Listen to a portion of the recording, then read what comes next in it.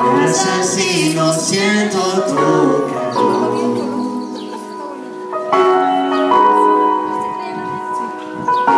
Te digo lo que siento.